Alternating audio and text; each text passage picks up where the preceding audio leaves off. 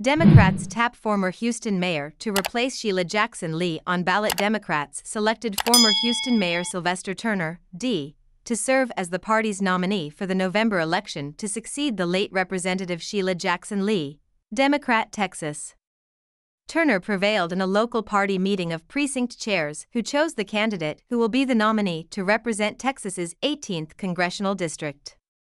Jackson Lee had already won the Democratic nomination for another term in her House seat before she died last month at 74 after battling pancreatic cancer. Turner narrowly won the nomination in a 41 37 runoff against Amanda Edwards, a former Houston City Council member who unsuccessfully challenged Jackson Lee in her primary earlier this year. Turner previously served in the Texas State House before serving as mayor of Houston for eight years, leaving office at the start of this year upon completion of his second term. He had the support of Jackson Lee's children, Jason Lee and Erica Lee Carter, to succeed their mother in office, saying she had no greater partner than him while serving in office.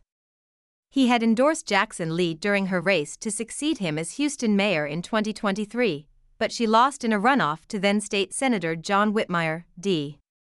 Turner will be the clear favorite to win the seat in November in the solid blue district. He will face Republican Lana Centonze in the general election. Governor Greg Abbott, Republican Texas, set a special election to fill the remainder of Jackson Lee's term on the same day as the general election. Lee Carter, Jackson Lee's daughter, is running in the special election to serve the rest of the term. Turner is not expected to run for the special election, the Washington Post reported. Candidates have one more week to register for the election. The Associated Press contributed to this report.